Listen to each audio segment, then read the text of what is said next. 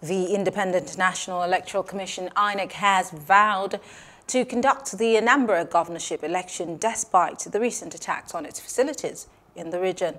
The Anambra State governorship election is scheduled to hold November 6, 2021, but the southeast has been a hotbed of insecurity, with gunmen attacking police facilities, burning INEC buildings and destroying electoral materials.